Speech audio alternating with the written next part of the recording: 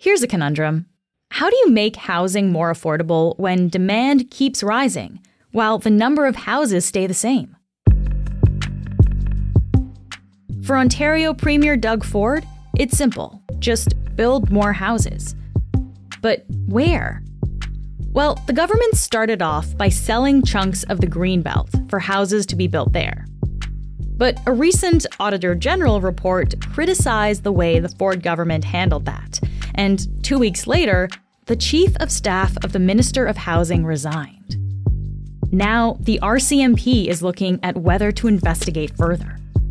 And in addition to the Greenbelt, the Ontario government is looking at another option as its next housing frontier the lands owned by school boards.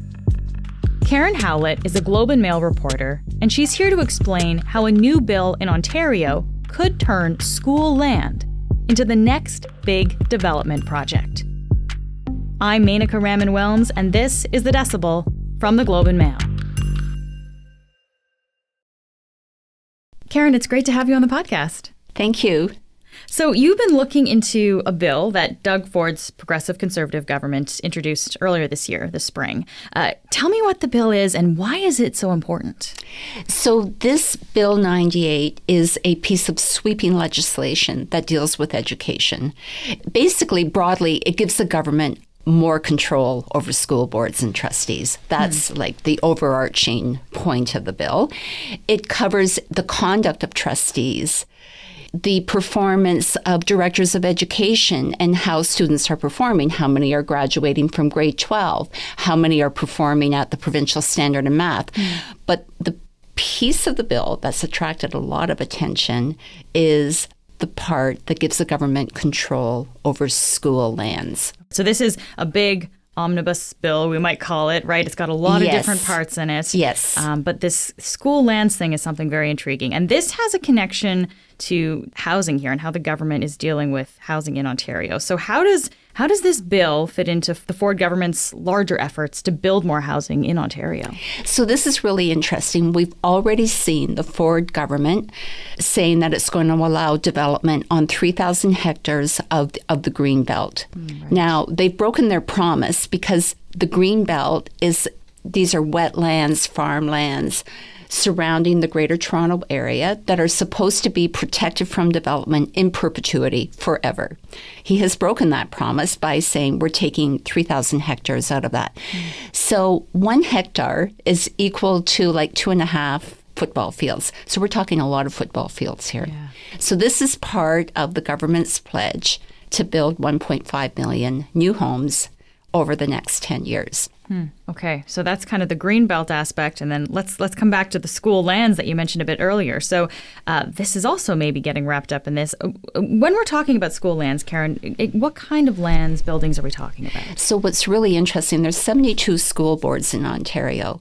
Collectively, they own 64 billion worth of operating schools. That's just operating schools, making them collectively the richest landlord in Ontario's public sector. This is a very lucrative, collectively, a very lucrative chunk of real estate. And what like what kind of land are we talking about? Like are these active schools? What kind of buildings are included here? So this is interesting. We're talking about a lot of things. So the 64 billion, those are schools that are currently being used for education purposes. Okay. In addition to that, there are schools that are no longer needed for education, so they're leased out maybe to a daycare center, a private school. There's also administration buildings, and there's even some empty empty lots. Mm. So it's, it's, it's a it's a collection of different things. So 64 billion is active schools. Do we know the value of the rest of those inactive areas? No, and that's the interesting thing with Bill 98. The education minister, Stephen Lecce, says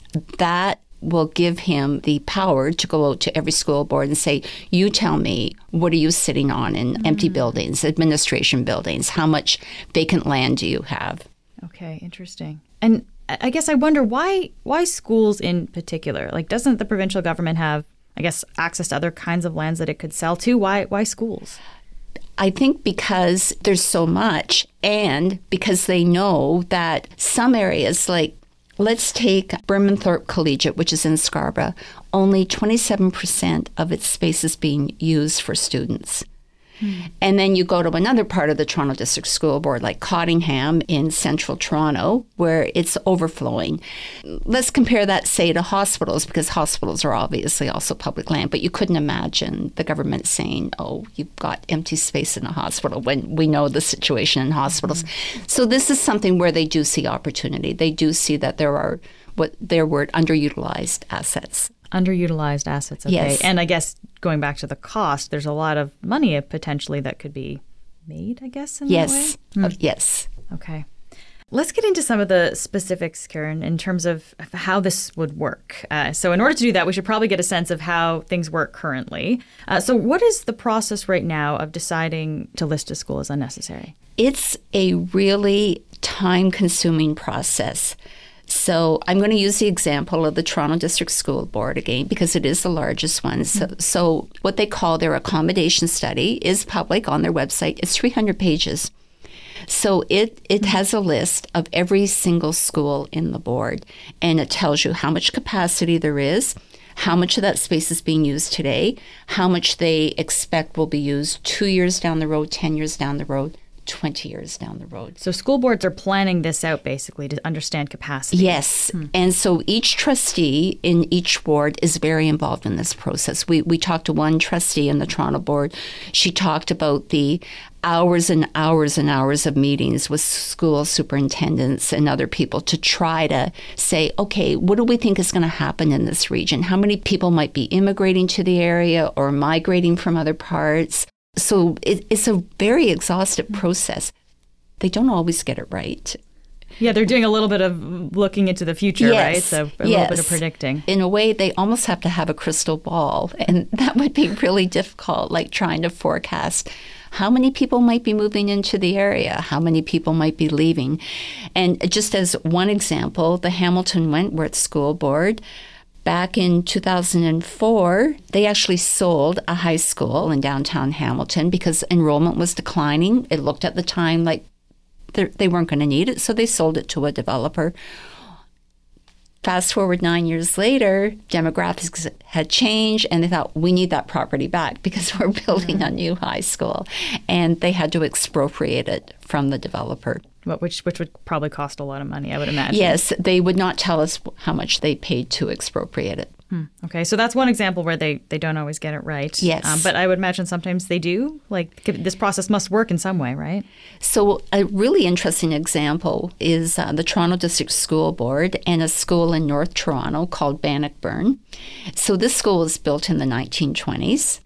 And in the 1980s, so this is like several, like this is several decades ago, right? The school board closed the school because enrollment was declining, and they leased it out to a Montessori school. So they were they were getting some revenue through the lease. In September, the board is reopening that school hmm. because enrollment has grown. So imagine had they sold it back in the 80s and then they would have to go through the process of oh we need to like somehow acquire a chunk of land. So these are the kind of exercises the school boards go through in trying to say okay maybe we don't need it today but maybe we need to hang on to it. Yeah because what you're saying it's a lot of work. You're looking at demographic projections. You're looking at all kinds of numbers. And so it's easier to do that on a smaller scale yes, right when you one. know your community. Yes. Mm-hmm. that's yeah. right and and so then with the the the new like Bill 98, can school boards um, just sell these inactive schools now, or how would it work? So right now, and there has been for a few years, there's a moratorium. Hmm. And that was brought in by the previous Liberal government back in 2017 because, as you can imagine, selling a school is that is a really controversial thing to do. And it's particularly controversial in rural communities and small towns because often an elementary school is the only school so in the area. And so the previous government brought in a moratorium saying you can't declare any more schools surplus, meaning you don't need them, and you can't sell them. There's a moratorium on selling them. We'll be back in a minute.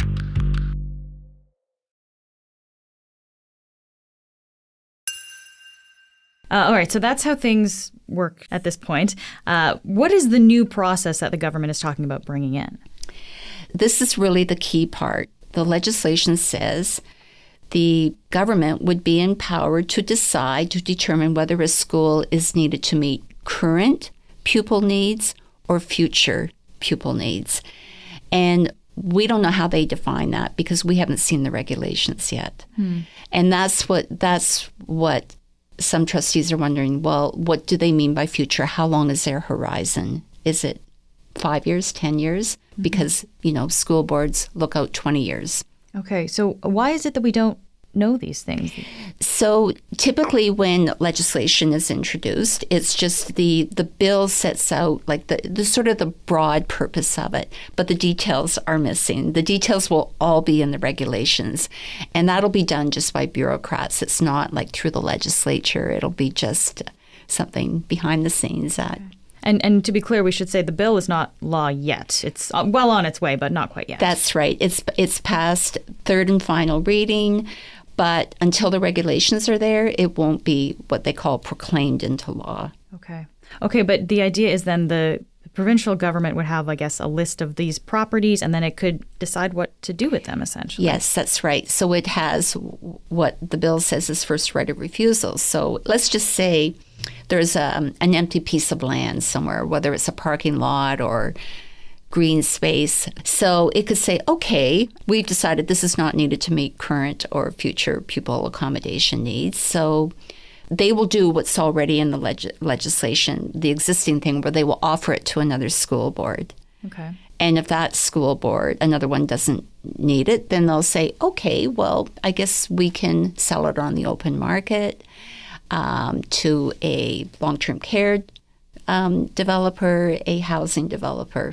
Hmm. Okay, and this is kind of where we get to the idea of it could be sold for housing, essentially. Yes. Okay. Yes. Huh.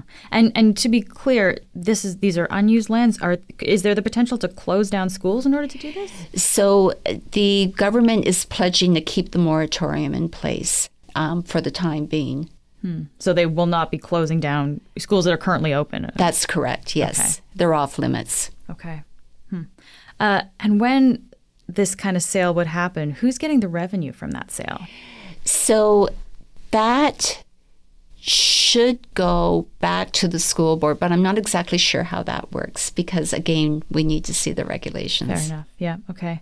Uh, well, I mean, it sounds like school boards, like in the in the way that it used to be done, they, there's a lot of work that goes into these decisions. Will the provincial government at least be, I guess, I don't know, working with the school boards, the trustees, in order to decide how this is done?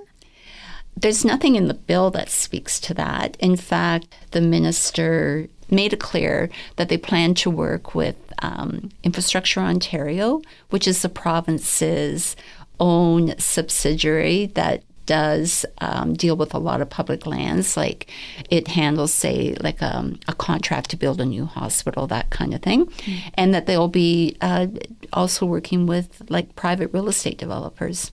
Ah, okay. So Infrastructure Ontario, like who I guess who is who makes up Infrastructure Ontario? Like they are people from with real estate expertise. Okay. They are a government agency, and um, they do they do preside over the awarding of a lot of um, public sector contracts um, to develop, like I said, tr- um, hospitals, um, courthouses, other public sector buildings. Mm-hmm. So, what does the government say about why it's doing this, Karen? So the government says it basically needs this overarching. This is this is Stephen Lecce, the education minister.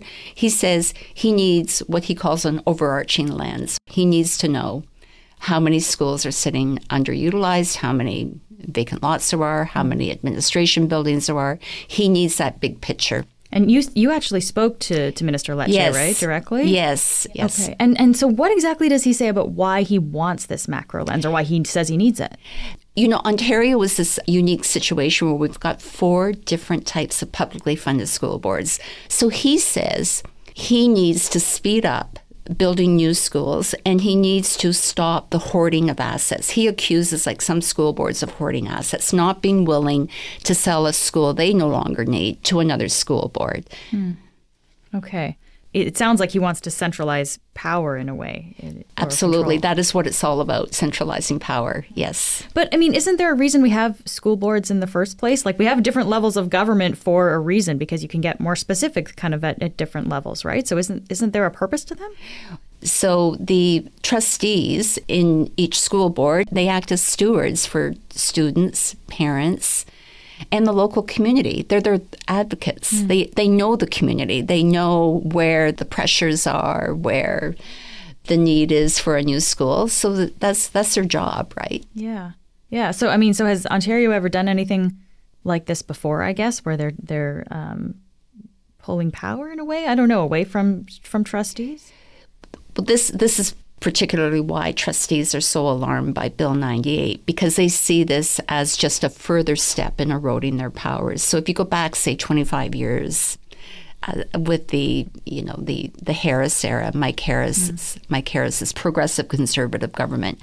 So he basically like drastically cut the number of trustees in Ontario, and he also cut their pay. So that was one big way that they saw their power being eroded. And then he also brought in legislation that no longer allowed school boards to impose taxes on like housing developers and others so that they could raise money to build new schools. He took away that power. Mm-hmm. So th- they see this as, you know, yet another step in limiting their ability to act as stewards. Okay, so I, I guess it's fair to say that like maybe, maybe well maybe you can tell me school trustees like how are they responding to this these these proposals by the government? So they had no advance warning that this legislation was coming. There was no consultation with educators trustees. Mm. and then once the bill was out the government set up only two days for public comment at a legislative committee. Is that pretty quick Oh, yes. That's what you can do when you have a majority. You can just use your majority to set a time, what they call a time allocation motion on debate on a piece of legislation. So, what does all of this tell you, Karen? I mean, you have been following this closely, but all of those actions by the government, what does that tell you about this legislation and how they're approaching this situation? I think what's really interesting is we know that the Ford government's big mandate is to build 1.5 million new houses over 10 years. But what's really interesting is to see that priority captured in a piece of legislation that's supposed to be about education. Mm. So it's really interesting to see the education minister talking about how some of these school lands could be used maybe to build new housing or long term care. He's supposed to be all about education, and yet here he is talking about meeting that goal to build new housing. Mm. So, Karen, we've been focused on Ontario here, uh, but it, I wonder, like, are other provinces doing similar things where they can kind of, I guess, circumvent school boards?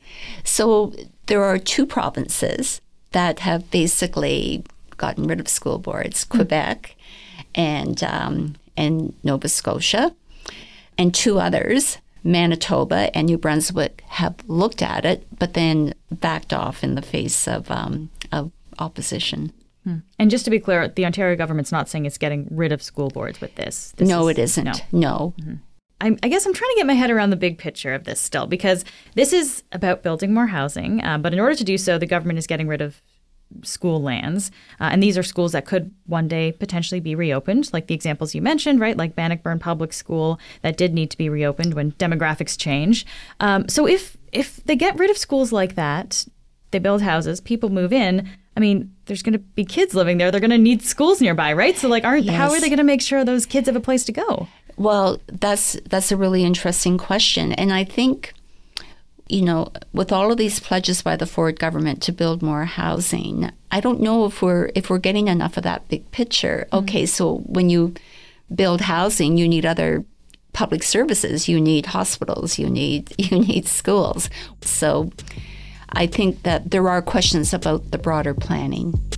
Karen, thank you so much for your work here and for being on the podcast. You're welcome. That's it for today. I'm Menaka Raman Wilms. Our summer producer is Nagin Nia. Our producers are Madeline White, Cheryl Sutherland, and Rachel Levy McLaughlin. David Crosby edits the show. Adrian Chung is our senior producer, and Angela Pacienza is our executive editor. Thanks so much for listening, and I'll talk to you tomorrow.